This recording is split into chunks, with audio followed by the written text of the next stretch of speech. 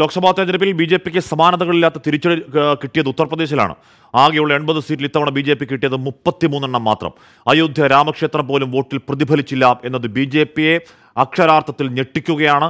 സംസ്ഥാനത്തെ അടിയൊഴുക്കിൽ B J P കടപുഴകി. കോൺഗ്രസിന്റെ അജയറായി വാരണാസിയിൽ പ്രധാനമന്ത്രി നരേന്ദ്രമോദിക്ക് ഒരു ഘട്ടത്തിൽ വെല്ലുവിളി വരെയായി.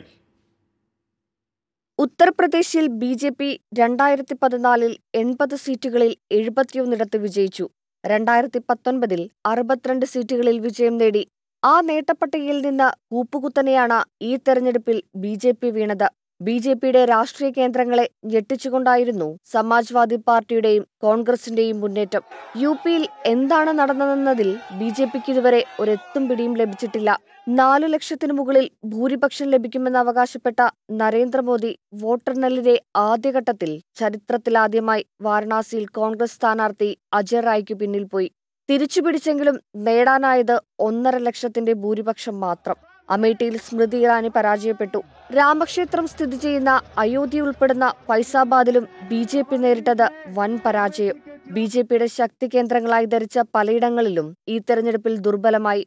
യു പിയിൽ രാമക്ഷേത്രമുയർത്തി പ്രചാരണം സജീവമാക്കിയ ബി ജെ പിക്ക് അതിൽ മേൽക്കൈ നേടാൻ കഴിഞ്ഞില്ല. ആർ എസ് എസിന്റെ പിന്തുണ വേണ്ടെന്ന ബി ജെ പി ദേശീയ അധ്യക്ഷൻ ജെ പി നദ്ദയുടെ പരാമർശവും തിരിച്ചടിക്ക് കാരണമായി എന്നതും ചില രാഷ്ട്രീയ നിരീക്ഷകർ പങ്കുവയ്ക്കുന്നുണ്ട്. രണ്ടായിരത്തി പതിനേഴിലെ യു പി നിയമസഭാ തെരഞ്ഞെടുപ്പിൽ അഖിലേഷ് യാദവും രാഹുൽ ഗാന്ധിയും കൈകോർത്ത് പ്രചാരണം നടത്തിയെങ്കിലും അന്നത് ഫലം കണ്ടില്ല. ഏഴു വർഷങ്ങൾക്ക് ശേഷം അതേ കൂട്ടുകെട്ടിൽ യു പിയുടെ ഗതി മാറിമറിഞ്ഞു. തൊഴിലില്ലായ്മ പണപ്പെരുപ്പം ഭരണഘടന തകർക്കുന്നുവെന്നതുൾപ്പെടെയുള്ള പ്രചരണം മണ്ണിൽ പ്രതിധ്വനിച്ചു. സമാജ്വാദി യാദവ് ഇതര ഒ ബി സികളെ മത്സരിപ്പിച്ചതും ബി ജെ പിക്ക് തിരിച്ചടിയായി.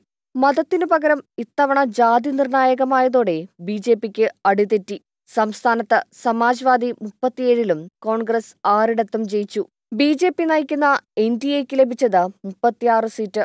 ഇന്നലെ പാർട്ടി ആസ്ഥാനത്ത് നരേന്ദ്രമോദി അഭിസംബോധന ചെയ്ത വേളയിലും ഉത്തർപ്രദേശിനെ കുറിച്ച് ഒരു പരാമർശം പോലും ഉണ്ടായിരുന്നില്ല. ഇന്ദ്രപ്രസ്ഥത്തിലെ ഇരിപ്പിടം നിശ്ചയിക്കുന്ന യു പിയിലെ പരാജയം പരോക്ഷമായി ബി നേതാക്കളും അംഗീകരിക്കുന്നുണ്ട്. ട്വന്റി ഡൽഹി.